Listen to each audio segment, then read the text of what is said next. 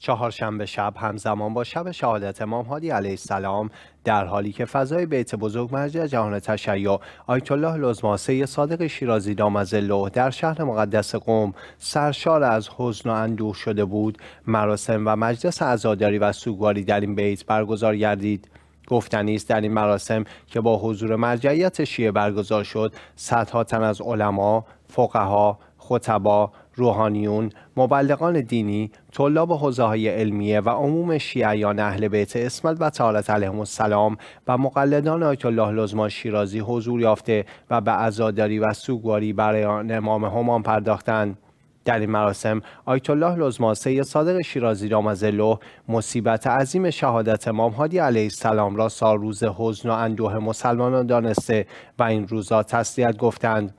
لازم به ذکر است. این مراسم در دو نوبت صبح به زبان فارسی و شب به زبان عربی برگزار گردید و حجج اسلام و المسلمین احمد پور جزایری و احمدی کاشانی به سخنرانی درباره سیره و زندگانی زندگی نامه امام هادی علیه السلام پرداختند.